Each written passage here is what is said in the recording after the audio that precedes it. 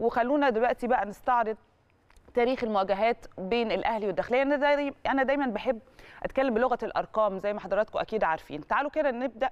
هم التقوا في 13 مباراة في الدوري. فاز الأهلي فيها في تسع مباريات وفاز فريق الداخلية بمباريتين وتعادلوا في برضو مباريتين.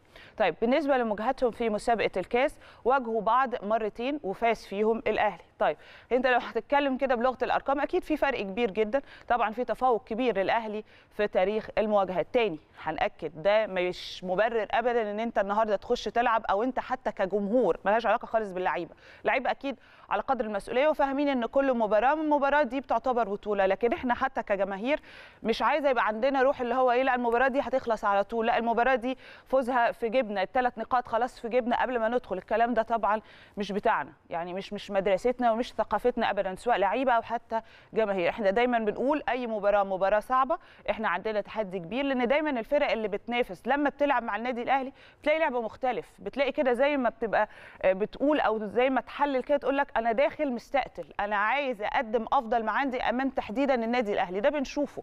تشوف فرق بتلاعب مثلا فرق أخرى عادي جدا. تيجي مع النادي الأهلي تلاقيهم فرقة متطورة مثلا 50% طيب ليه؟ علشان هم بيلعبوا النادي الأهلي وده في حد ذاته ليه هيبة ده في حد ذاته ليه مكانة تانية خالص.